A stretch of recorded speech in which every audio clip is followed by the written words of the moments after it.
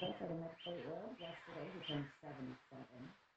And Susan S. just talked to Mojo Magazine and said there is absolutely no way, no chance whatsoever that Fleetwood Mac will go back out and, you know, reunite hit the road without Christine. So it's just not going to happen. It can't happen.